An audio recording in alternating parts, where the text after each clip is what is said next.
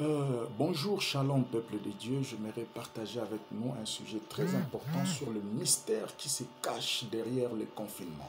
C'est quoi le confinement euh, dans la vision du monde? Que, que nous dit la Bible sur le confinement Et euh, est-ce que dans l'histoire de l'Église, nous pouvons retrouver le confinement Oui.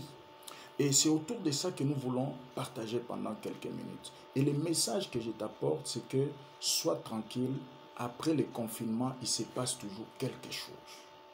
Après le confinement, c'est la délivrance. Après le confinement, c'est le réveil. Après le confinement, c'est le nouveau départ. Après le confinement, c'est la nouvelle façon d'exercer son ministère. Après le confinement, c'est la nouvelle façon de prier. C'est la nouvelle façon d'exercer le ministère de la prière. C'est la nouvelle façon d'évangéliser. Après le confinement, c'est la nouvelle façon de diriger l'Église. Après le confinement, c'est un nouveau message. C'est une nouvelle façon de servir Dieu. C'est très important. Alors, c'est quoi le confinement dans la vision du monde? Le confinement, c'est un terme utilisé souvent dans le, euh, dans le circuit militaire et puis euh, dans les circuits euh, scientifiques. Euh, euh, Lorsqu'on confine, ça dit que on prend un certain nombre de dispositions afin d'assurer le maintien d'une matière qui est très dangereuse.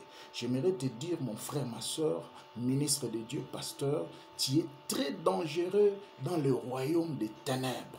Parce qu'un seul mot sortant de ta bouche, ça bouge le diable, ça bouge Lucifer et son royaume. Tu es très très dangereux. Voilà pourquoi il a plu au Seigneur pendant ce temps de te confiner parce que tu es dangereux. Le Seigneur est en train de préparer quelque chose après ce confinement. Parce qu'après ce confinement, après le confinement, il se passe toujours quelque chose. J'aimerais rafraîchir un peu ton- ta mémoire sur euh, le confinement de la chambre haute dans Actes chapitre 1, verset 12 jusqu'à 14 et dans Actes chapitre 2. hein, alors qu'ils étaient confinés pendant neuf jours et le dixième jour, le vent a soufflé. C'était le début du réveil et l'église a commencé dans le feu et 3000 âmes étaient sauvées dans un seul discours d'un simple homme qui n'avait pas euh, euh, beaucoup d'instructions, l'homme de pierre. Je te vois dans l'armée du Seigneur. Parce que après le confinement ici, et pendant ce confinement, Dieu est en train de préparer son armée pour la grande bataille. La bataille finale qui est la bataille des âmes perdues. Parce que alors que nous sommes confinés, le diable est de l'autre côté, il est en train d'arranger son armée pour la dernière bataille, d'aller euh, euh, gagner les âmes pour la perdition. Mais dans ces temps ici, Dieu est en train d'arranger son armée, équiper son armée. Après ici, des hommes et des femmes se lèveront de partout dans le monde pour le salut des âmes perdues. D'autres, ils vont payer même leur vie, même pour la salut. Dieu est en train d'allumer un vent terrible. Il est en train d'allumer une flamme terrible de l'évangélisation, une passion extraordinaire de salut des âmes perdues pendant ces temps ici. Après ce confinement, il y aura un réveil terrible. Dans l'histoire de la Bible, nous voyons, après le confinement de Noé, pendant 40 jours, il s'est passé des choses terribles. Voyez-vous, c'était la restauration. Noé confiné dans l'arche pendant 40 jours avec sa famille. Israël confiné en Égypte pendant 430 ans dans la souffrance. Voyez-vous, après c'était la délivrance, après c'était la sortie. Le même Israël confiné à Babylone pendant 70 ans, après 70 ans, c'était les réveils, c'était les retours, c'était la restauration. Voyez-vous, et notre Seigneur Jésus confiné dans la terre pendant trois jours. Et après les trois jours, c'était la résurrection. Voyez-vous, mes amis, j'aimerais que nous puissions voir au-delà de ce confinement. Le confinement en soi n'est pas un problème. Dieu a un plan. Dieu a un plan. Dieu a un plan. Après le confinement, je te vois, pasteur, servir Dieu dans une dimension extraordinaire. Exercer ton ministère de chantre, exercer ton ministère de, de prière, d'intercesseur dans une dimension très, très élevée. Alors prends courage. Nous voyons aussi je sais que pendant ce temps, il y a des athées qui se moquent du Seigneur et de ses serviteurs, disant que non, où sont tous ces pasteurs qui nous parlaient de guérison, qui nous parlaient de délivrance et qu'on sort Bien au contraire, le confinement n'exclut pas la présence de Dieu et l'intervention de Dieu au sien. Nous sommes en train de voir Pierre dans la prison. Pierre dans la prison, confiné dans la prison, il n'y avait ni entrée ni sortie, mais l'ange est venu, il a délivré Pierre. Voyez-vous, après le confinement, c'est la délivrance. Alors qu'ils étaient là, Paul et Silas, dans la même prison où était entré Pierre. Voyez-vous? Il était minuit, la Bible dit, il adorait, il louait Dieu, les fondements de la prison étaient ébranlés. Voyez-vous?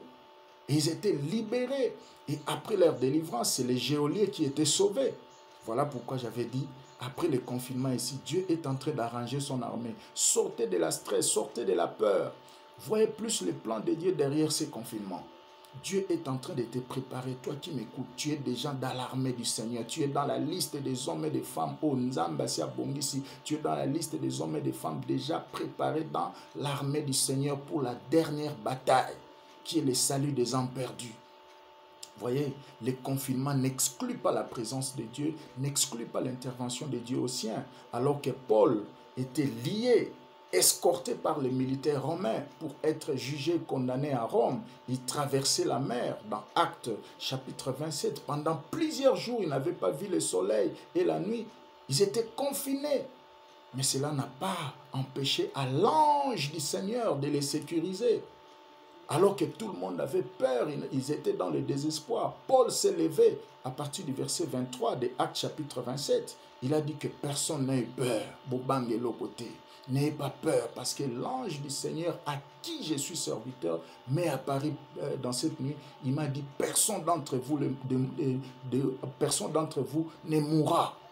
Nous allons tous traverser de l'autre côté. On aura peut-être euh, euh, la perte de quelques biens. Et je suis en train de rassurer à quelqu'un, confinement au ekobomayote, au kokufate pasteur, au kufate moi Après ce confinement, tu as un plan. Tu es dans les plans de Dieu, tu es dans la main de Dieu, tu es parmi ceux-là que Dieu est en train d'équiper pour la dernière bataille. Tu ne mourras pas. Oui, tu pourras perdre certains, certains euh, finances, ton budget sera un peu bousculé, c'est tout à fait normal, mais tu ne mourra pas.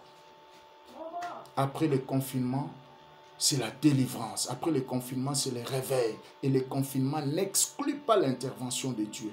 Dieu est avec toi. Et Dieu t'a choisi et il t'a sélectionné dans cette armée qu'il est en train d'arranger pour la dernière bataille de salut des âmes.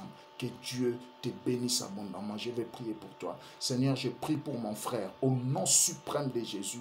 Dans ces moments de confinement, qu'il soit équipé qui soit revêtu de la puissance de Dieu pour le salut des âmes. Que Dieu te garde, que Dieu te bénisse. Ciao.